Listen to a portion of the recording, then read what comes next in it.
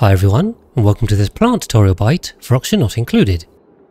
As always, make sure to check out the plants tutorial bite if you haven't already for an overview of the plant mechanics. This plant tutorial bite is all about Saturn critter traps, a strange and unique plant only found in the Spaced Out DLC. They are naturally found in cold, radioactive biomes that are themselves only found in the Spaced Out DLC too. Saturn Critter Trap seeds are used to grow Saturn Critter Trap plants, and they can also be fed to Pacu. Beware though that like oxyferns and wheezeworts, Saturn Critter Traps do not make more seeds and they cannot be printed, meaning you only have as many as your map spawns with. But fortunately, there are usually quite a few to find. Of course you can dig up the few growing plants, but most of the seeds are actually hidden in buried tiles. By digging these up, you will get a reasonable amount, but the number does vary significantly depending on your map type. Now, I mentioned that Saturn critter traps are strange, and that's because they actually eat critters that walk into them, like the real-world Venus flytrap. That does mean that flying critters cannot be eaten by these traps, and here is the full list of which critters can and cannot be eaten. Once the plant starts digesting a critter, its growth cycle starts, which means two things. Firstly, the plant will start to make hydrogen and release it into its surroundings at 25 kilograms per cycle or 41.7 grams per second. Do note though that the rate is the same whether the plant is wild or domestic, so this may influence which you choose to do. Using this hydrogen directly into hydrogen generators means each plant will make 333 watts of power on average, so a little over 2 plants per hydrogen generator. The second thing they produce is plant meat, which is harvested after their growth cycle, being either 30 cycles if domestic or 120 if wild. Plant meat is definitely much worse than normal critter meat, as although it does have a poor quality, it must be eaten raw and does not currently feature in any recipes at all. Each harvest makes 12,000 kilocalories, so a wild plant only makes 100 kilocalories per cycle on average, assuming a critter immediately goes into the trap once harvested, and a domestic one 400 kilocalories per cycle, which is 2.5 plants per dupe. Also be aware that the plants must be manually harvested by dupes and do not drop their plant meat after 4 cycles like most other plants. So that brings me on to their info, and I've covered most of this already. The plants like a very cold environment, specifically between minus 90 and 0 degrees Celsius, so will need cooling, which we'll look at next with how to farm them. They can also grow in any pressure of gas, but will drown in liquid. When domestic they require 10 kilograms per cycle of polluted water, which isn't too much, especially compared to an Arbor Tree or Thimble Reed. That does mean that even an average cool slush geyser will provide cold polluted water for 90 plants, which is likely more than the amount of seeds you have anyway. They also have a height of 2 and a decor of 15 at a 2 tar range. On to how to farm them then, and there are a couple of things to consider. The first thing to decide is whether to farm them wild or domestic. The domestic traps grow four times more quickly, so you'll get four times as much plant meat if that's what you're after. But generally, the more useful thing here is the hydrogen, so growing them wild is better in this case, as you don't have to supply the 10 kilograms per cycle of polluted water, and the hydrogen output is the same. The other benefit is that you don't have to supply as many critters to feed the traps, but the Beetas will cover that anyway. Wild planting is done the same as any other plant, and I explain this in full in the wild farming and pip planting tutorial bite. But there's an extra complication here, in that the traps will almost certainly eat the pips after they get planted.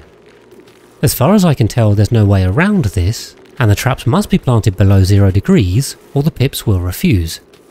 Therefore I would highly recommend using domestic pips from the extra eggs made in a pip ranch and for more information on that, see the pip critter tutorial bite.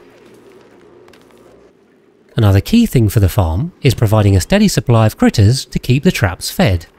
In theory, you can do this with any of the walking critters I showed earlier, but Beetas are by far the most popular option as they are completely free. Although the traps can't eat Beetas, they can eat the Beetinies, and one will spawn every cycle. The Beeta hives should need uranium ore to not starve, but in testing they never appear to starve, so can be left to spawn Beetinies indefinitely.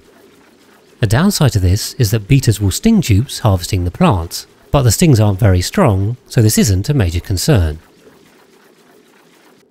And that brings me on to cooling, which will need to stop the farms heating up and to keep them below 0 degrees Celsius. Note that I've used insulated tiles around the farms and have a step vacuum liquid lock to stop the heat getting in.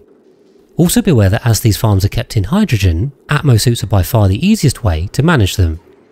There are a few ways of cooling the ranches, and I'm showing some of the main ones here.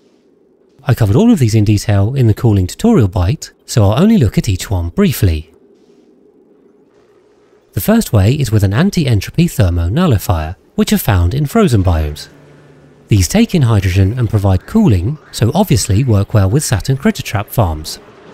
I've put it in an insulated room with hydrogen and passed a cooling loop behind it and the farm, with polluted water in this example. To control the temperature, I've linked a thermopipe sensor to two doors, on which the nullifier sits, these open to stop it cooling when the temperature is below minus 15 degrees Celsius. And beware the coolant choice for this example and the other cooling methods too, because we need to get under 0 degrees and not freeze. Secondly, you can of course use a thermo-aquatuner and steam turbine combo to do industrial cooling. Again, I've covered exactly how to do this in the cooling tutorial bite, and this is an effective way to cool the farm down, but is more power expensive. Here I've used petroleum as a coolant, as it will easily go below zero, and the liquid pipe thermosensor here is set to above minus 15 degrees. Of course petroleum isn't as good a coolant as polluted water, which you could use, but in that case be careful not to set the pipe thermosensor lower than minus 6 degrees to avoid freezing. Another way I'm showing here is with a thermoregulator. This cooling loop works exactly the same as the AquaTuner cooling loop, but with a gas coolant and a thermoregulator. Hydrogen is the best gas to use, and make sure to use steel radiant pipes, as otherwise radiant gas pipes are made from metal ores, which are much less conductive than the refined metals that radiant liquid pipes use. Again, here I've set the gas pipe thermosensor to above minus 15, and there's no risk of the hydrogen turning into a liquid. Do beware though that I tested this and found that one regulator can barely keep up with two gas pumps and the steam turbine, so I would recommend one regulator per gas pump and 12 plants. So any of these are effective ways of cooling, and note here that you can also use the hydrogen produced to take away some heat when used in the hydrogen generators. For example, before being used, you can pass it around the hydrogen generators and thermoregulators themselves and make a neat self-contained build if you wish. Generally, I don't think this is necessary, but if you want some ideas for that, then check out my fellow Oni creator Luma Plays videos on that, which I've linked in the description. To remove the hydrogen here, I'm simply using two gas pumps, each connected to an Atmo sensor to keep a minimum level of hydrogen, and I've set it to above 2000 grams. You can take this hydrogen off for storage elsewhere, or the farm itself will act as an infinite hydrogen storage too, as the plants won't overpressure as long as you have a liquid lock in place. One pump can take out the hydrogen for up to 12 plants. Lastly then, I'm going to quickly look at how to get this farm started, since the order is somewhat important. After building the farm and cooling, the first thing to do is sort out the atmosphere, so I've set up the liquid lock by bottle emptying some petroleum onto the stairs, and then mopping at the bottom, you could also use a more robust double liquid lock with a vacuum, but as there shouldn't be any too hot or cold materials carried through here, this shouldn't be a problem. After that we can pump out all of the gas inside until it becomes a vacuum. Then I'm going to put in a little hydrogen to get started, and anywhere over a couple of hundred grams per tile will be fine. Now we can wait for the cooling loop to chill this down to below 0 degrees. After that we can get the Beeta hive in, and it's easiest to start by making an area with doors on either side to place the hive. Then use the move command to drop a Beetiny into the space, and wait for it to turn into a hive. Remove the doors and then you can start planting the plants. If doing this domestically, then this is very easy to do, and if while planting, this will take a bit longer. And remember that the pips will likely get eaten by the plants after each one is planted, so make sure to have a good supply of pips ready. And that's all there is to it. The Beetinies will now spawn and feed the plants, and they will make a free constant source of hydrogen and plant meat. Remember the dupes will still need access to harvest the plants, and will get stung when doing so, but this is a small price for the useful resources. So that's it for this guide to Saturn critter traps, in oxygen not included. I hope this helps with feeding these tricky carnivorous plants, and thanks for watching.